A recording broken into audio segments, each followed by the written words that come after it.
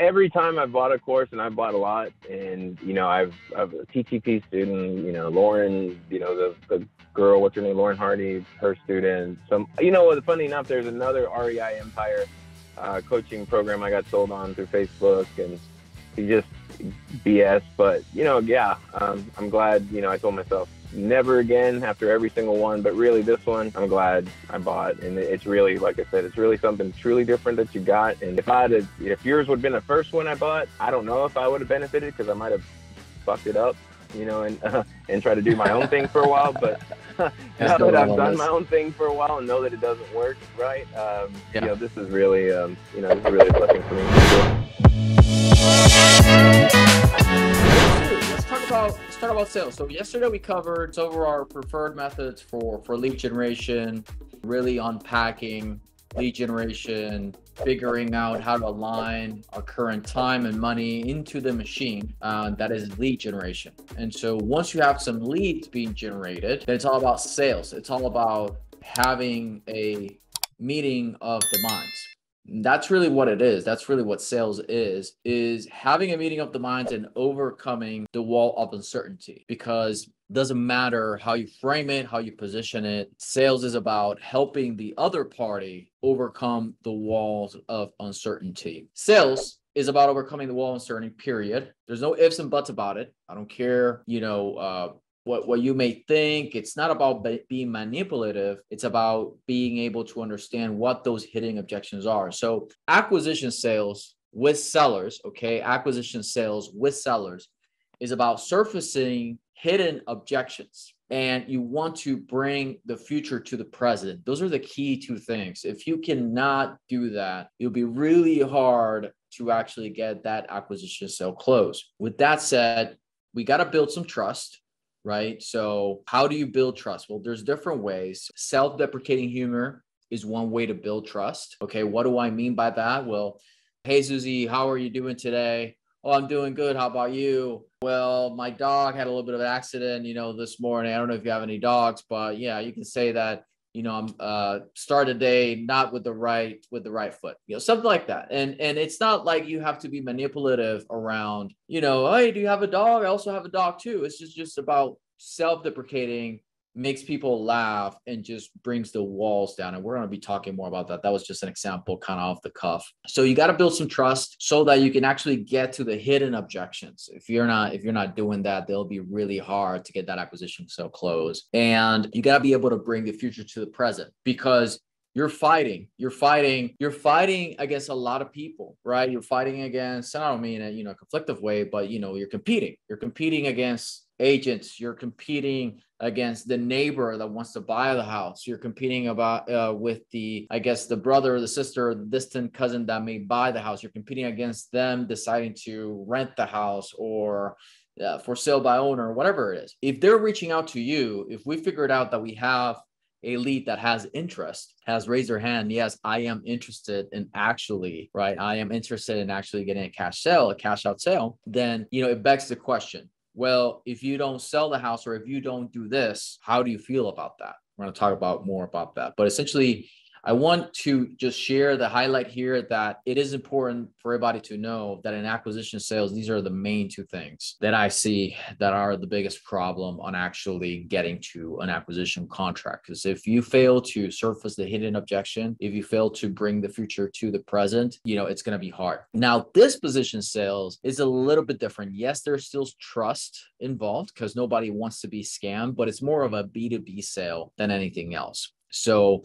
the process and the flow is a little bit different because you have to a lot of times present logical logical numbers. Like hey these are the comps. You have to present some facts because if you're doing wholesale right and you're selling essentially to other investors which you know is mostly what we do or you're selling on the market wholesale stuff like that there may be some emotion there. But for the most part it has to make sense. So you have to be able to present some numbers, right? And really, the difference here is for the buyer side, fear of missing out via incentives. Okay. So, what do I mean by that? Having that dangling carrot. So, essentially, in your disposition sales process, you want to have step or process that incentivizes them to take action, action, you know, in fear of missing out. Right. So, I'm just going to, you know, go through a few case studies here. This is from one of our recent members that implemented some of these, you know, principles. He's already, he's already doing deal flow. He started implementing the, the sales process and these key things. And you know, you can see right here, Joe, I cannot believe the velocity in which your program got so much traction. We're on the verge of three agreements from implementing your script. So this is from somebody that is not starting out and, you know, essentially made me very happy with that. So he's in Cali. And also, I'm going to share with y'all a quick video of a. But, you know, uh, are you happy so far with what you've seen? This is Jesse. I really um every time I've bought a course and I've bought a lot and you know I've I've a TTP student, you know, Lauren, you know, the the girl, what's her name, Lauren Hardy, her student. Some you know, funny enough, there's another REI Empire uh, coaching program I got sold on through Facebook and he just BS. But you know, yeah, um, I'm glad. You know, I told myself never again after every single one. But really, this one, I'm glad I bought, and it's really, like I said, it's really something truly different that you got. And if I had, if yours would have been the first one I bought, I don't know if I would have benefited because I might have fucked it up you know, and uh, and try to do my own thing for a while. But now that I've done my own thing for a while and know that it doesn't work right, um, yeah. you know, this is really, um, you know, this is really a blessing for me for sure. So, anyways, just wanted to share that with y'all because these these principles that I'm we're going to be covering today essentially have worked with other people for other people, right? And so, just want y'all y'all's attention to make sure that you guys are are fully here. So, uh, actually, before we get to the whiteboard, and if you were in the last session, I try to be very respectful of y'all's time and make this very neat and clean. Look at your, I want you to go ahead and, and review your acquisition sales process and your disposition sales process and go ahead and self audit and self check is your acquisition sales process inspiring trust right? Are you surfacing hidden objections right? Are you bringing the future to the present Okay. Those are the main key things that I want you to go back on and review in how we're you're speaking with sellers, right? Acquisitions is mainly with sellers, with off market motivated sellers. With the disposition sales process, I want you to go back and figuring out okay how are you demonstrating trust notice that i say inspiring trust with sellers and demonstrating trust with buyers because it's a different type of sale again B2C versus essentially B2B. So demonstrating, you demonstrate with the facts like, hey, you know, maybe we're off, like, you know, my bad, maybe we're off a couple of grand here, uh, but here's my numbers and here's how we came up with them. Just don't tell me, show me. Is with that said, we want to make sure that we are going through these steps and testing. Okay. We're testing and testing and testing. So, how do you bring the future to the present? You know you want to go through these and you want to self audit for you to build a business. We're not trying to build a hustle. We're not trying to build something that is just like you know a grind. We're trying to build a business that you can actually then delegate to either local people or virtual assistants. The idea is that you have a process okay? That you have a process and so we're mainly talking about acquisition sales and disposition sales, right? Buyer FOMO. We're not going to be able to cover property underwriting, but essentially those are the key steps right there. Today, I promise you, if you at least go back to your operation and your sales process, then you'll get, you know, a lot of a lot of value out of this. Okay. If you're clear on this, I promise you, if you're clear that your job is to overcome that wall, have them overcome that wall of, of uncertainty, your closing ratios are going to go up. Okay. Nobody likes pressured sales tactics. Nobody likes to be sold. People like to buy. And although we're buying the seller's properties, we are essentially having them buy into us. I've been through. I, used to buy in person for the longest time, and I remember there's there was this one property that I arrived, and I spent an hour and a half with this guy. This guy was a Chevron engineer that lived in California and had this big, big, big house in um, Forest Cove, which is northeast of, of of Houston, flooded of area, big mansion house. This guy invited all the investors come through I spent an hour and a half with him. That doesn't mean that you have to spend an hour and a half with every with every seller. Me starting out, I told him if I you got to pay me to buy this house. it was that bad because it was full of mold, it was full of leaks, uh, vandalism. They had taken out the copper. I mean, you can breathe on you you can breathe on this thing, right? And we, you know, I ended up massaging my numbers, and we ended up, you know, making an offer. And um, he calls me back because I build the trust with him. And again, no manipulation tactics. It's really the same process that we're discussing here. But because we build a trust, because essentially we inspired that trust with him, we were able to get the trust and, and have him say, listen, your offer is like $30,000 below the other one. And one ninja trick that you should put in your acquisition process. Okay. Well, Mr. Seller, if um if it's okay with you, it's okay with you, you know, without commitment, you can scratch out the buyer's name. I'd like to give you some feedback to see, you know, how how our offers truly compare. Because in an offer, it's not only price, it's terms. And so he sent the other agreement. You know, it was full of contingencies, full of clauses, no proof of funds. I don't recall if there was earnest money. But you guys and gals, these are things that will get you an additional at least, you know, one or two three, four deals a year, depending on your lead flow. And it's by serving as a consultant. Okay. By serving as a consultant. Okay. And because he felt sure that we were going to close, because we had the proof of funds, because we spend that time and digesting like here, here's the pros and cons, non-bias review. That's that's the term I was looking for. Sometimes you'll get deals like that, right? Because he wasn't really all about the money. I mean, obviously people usually want more money, but he wanted that certainty. So, Mr. Seller, how would you feel? Like that was a key question. How would you feel if in a month from now this higher offer doesn't close? Are you going to be happy going back to California and having to deal with this and revet people? Or would you rather take less but go for the for sure route. And here's why, right? Here's how this compares. And here's the questions that maybe you want to ask. And so by serving as a consultant, a lot of times you can get, you know, sellers, sellers coming back to you. On the buyer side, what you want to do is, and I, I spoke about this yesterday, on the buyer side, the dangling carrot the dangling carrot is the fact that Mr. Buyer, we are your acquisition, your marketing and acquisition arm. And we like to rely on our buyers to be our boots on the ground or get first dips if you close a deal with us, right? And it's smooth, we'll get you on our first dips program. And so by doing that, when you have that conversation and you have to vet them, you have to vet them with a non-tortious interference agreement. We make them sign a non-tortious interference agreement, meaning that they're not going to go around us. Even if we send them directly to the seller's house with the seller in there, they're not going to go around us. Why? Because investors only care about the deal. So if you understand that, hey, Mr. Buyer, listen, I need to get this sign that you're not going to go around us. I need to get proof of funds. And if a buyer is too lazy to provide you proof of funds, if they are worried or concerned about signing this non-tortious agreement you know file then these are questions that you really have to ponder on sometimes we may waive it for people that are licensed agents or that give us a good reason or come through referrals for whatever but you want to put some filtering because if not if you don't if you don't put yourself in a position of power with buyers, they're going to drag you along, or you're going to get a lot of time wasters that may be wholesalers that are not really qualified. So we don't really even share our address of the properties nowadays with so much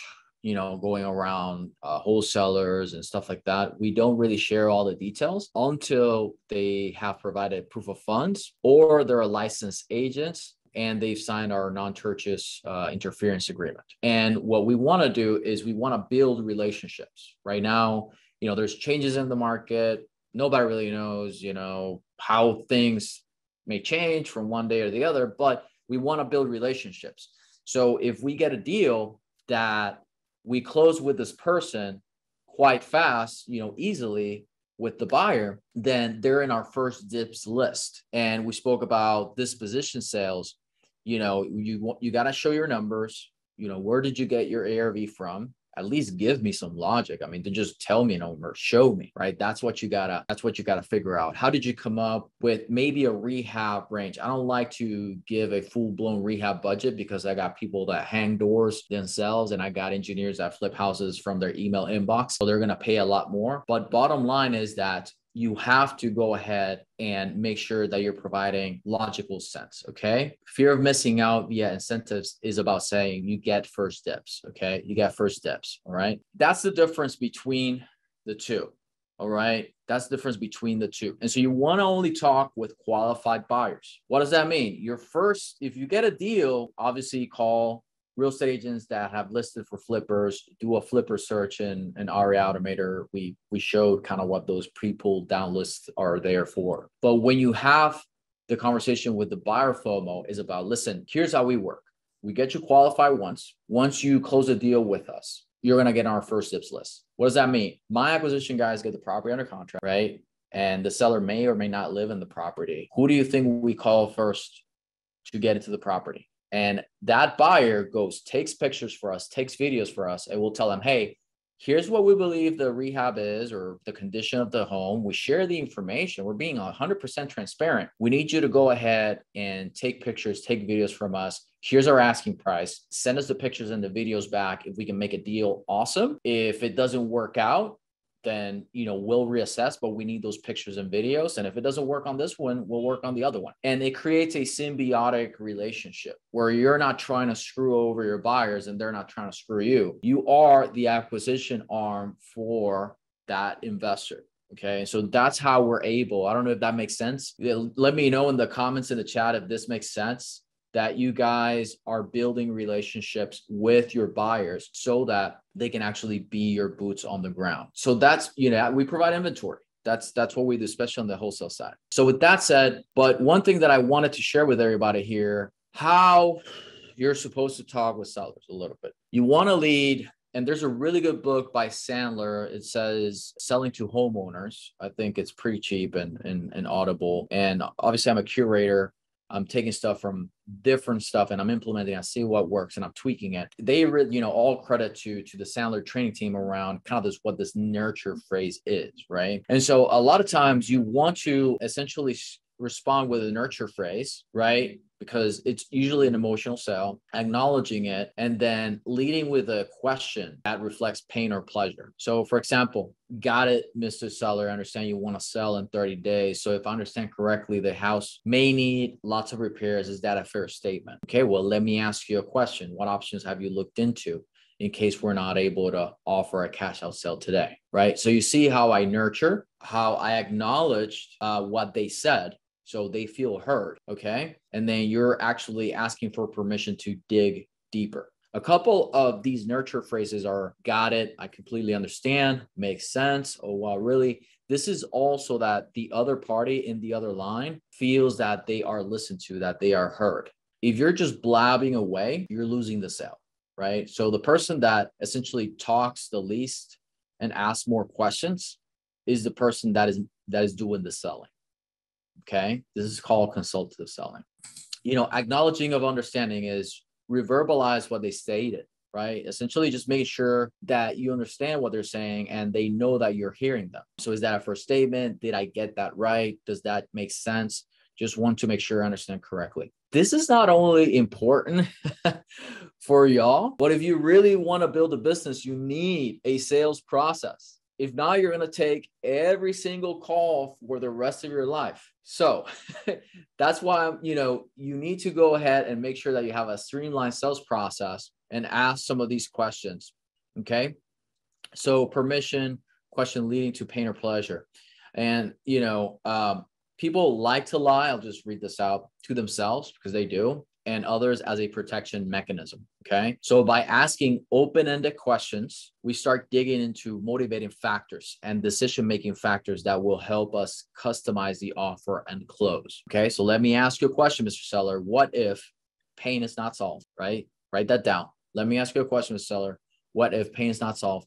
What other options have you looked into? I'm curious, Mr. Seller, if we we're able to help you get past pain point, what would that help you achieve? Okay just by implementing these, right? And I'll, copy and paste this on the day two worksheet. You guys should be able to get a little bit better of a response, all right, from your sellers and buyers. And I don't think, you know, I don't think that it is that you need to manipulate people, but if you don't have these basics down, your conversion rates, you know, will suffer, you know, will suffer for sure. And it's these little tweaks. Now, this works better for vetted contacts with intent. If you are essentially, you said, okay, I'm going to be doing free outbound prospecting, outreach, you have to be, it's not that these don't work, is that you have to be a little bit more intentful and aggressive towards the conversation, right? You got to make those calls, try to get those offers out. It's you have to be a little more aggressive on the offer making. When we are talking with inbound seller leads, you know, they already problem where they're searching for you. You're essentially doing consultative selling where you're saying, okay, I'm helping you qualify for a cash out sale. Is it's me and you against our funding department. All right. It's me and you against our funding department. And so the idea is the more information that I can get and the better of understanding that we have, then the higher chance likelihood that I can get your cash out sale approved. Very similar to a mortgage, right? So let's say you wanted to get a mortgage. What do they have you do? They have you fill out these 10 pages of application, however they are. Send me the pay stub, send me your check statement, send me all that stuff. You know, they, they almost ask you your underwear size. Well, they're doing that and they're going to make money out of lending you money, right? It's a similar approach with inbound seller leads, right? Ideally, you're not seeming too pushy, especially with lay down leads, which is a key point that I just remember. We essentially classify Okay, we essentially classify leads into four into four buckets. So we get out of this thing. So essentially, so we got wackos. You know, these are people that not even Jesus Christ can help them. Like they're above retail, they're crazy. Um, it doesn't make sense. It, it doesn't even make sense for retail listing. And the sooner you understand and you can differentiate a, a suspect from a prospect, the better that is, right? So those are wackos.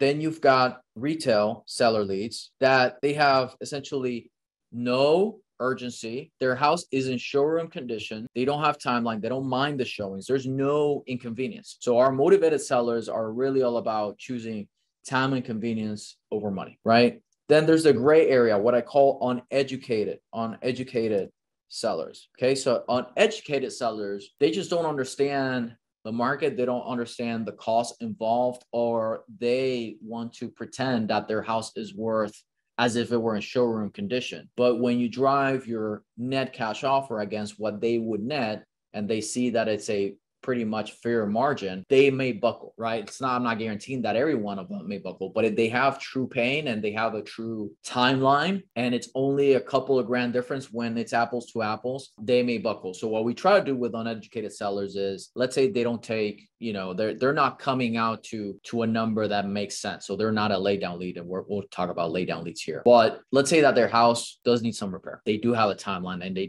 do have a reason as to why they want to sell. Okay okay, then your goal is to define with them, not against them, with them shoulder to shoulder and say, hey, you know, it seems like your your net worth realistic scenario, Mr. Seller, is that you may you may net 100k after commissions, after repairs, after closing costs, after holding period.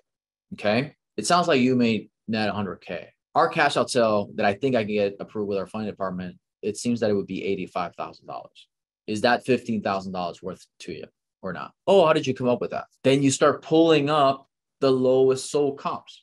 Now, Mr. Seller, I'm not saying this is what your house is worth. I'm not even saying this is our offer, but looking at these low so looking at these sold comps, they're similar size, similar bedroom. This one sold for 115, but they pay agent fees, and we don't know how much they paid on actual repairs. So that's how we treat uneducated sellers. The idea is to bring it down to a level, bring it down to a level that is our cash out sale number of what we think we're going to be able to get approved with our funding department and what what their net worst realistic scenario is and providing some logical around it. Because mr seller do you want an offer or do you want to close right? That's another question that you should ask. Do you want an offer or do you actually want to close? Because i could put a million dollars on a piece of paper that doesn't mean that I'll actually close. So these are little things that you want to do and say as you're speaking with these uneducated sellers. So figure out if there's a meeting of the minds. Without a meeting of the minds, it'll be really difficult. Another piece is let me know in the comments here if somebody has been ghosted. If you've been ghosted after submitting an offer, let me know in the chat. Let me know somewhere here if you've been ghosted from after submitting an offer. Like you submitted an offer, they don't, you don't hear back from them, whatever, whatever, right? What's happening a lot of times is you are making the offer a little bit too soon or there's no takeaway. So what we do is let's say that they're saying, okay, I'm ready. This makes sense.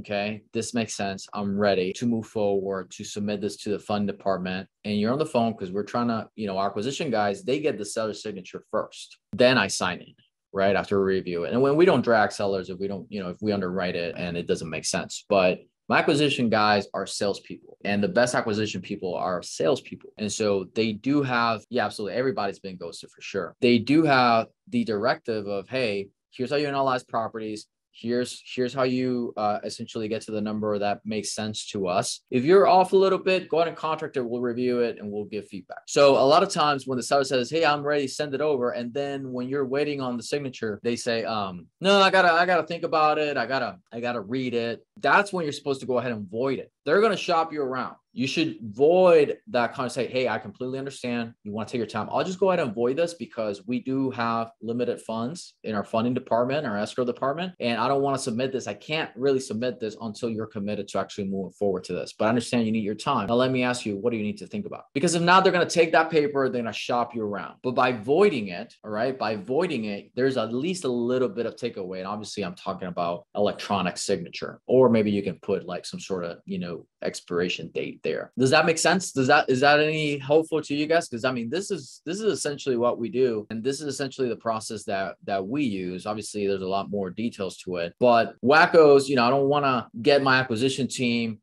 frustrated with trying to convert wackos that's what the auto follow up automate you know we're going to talk systems tomorrow. You know wackos are wackos and we we, we need to be able to understand. And we, we still talk through them and we take them through the process but we call that's a wacko all right?